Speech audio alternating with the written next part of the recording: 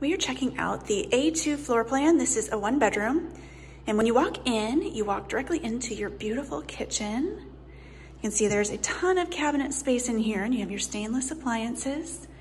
And then an island with space to tuck in bar stools. And this island does have storage as well. Then right next to your kitchen, you have this closet here, and coat closet. Then directly across, you have your full-size stackable washer and dryer. And then this is one of my favorite features. So you have a double door pantry. Imagine all of the goodies you can store in here. So much shelving. All right, and this goes right into your living space.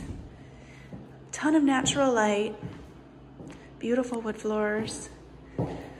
I'll check it out from this angle too.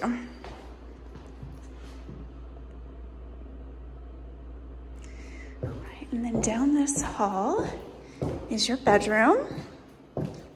This is carpeted. You have your ceiling fan.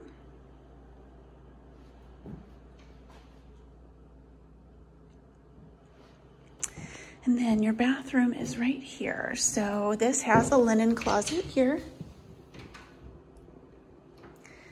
Then you have double sinks.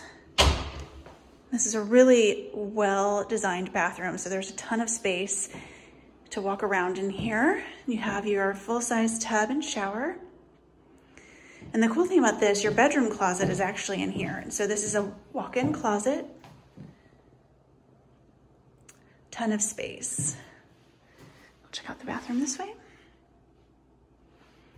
And one more time for your kitchen.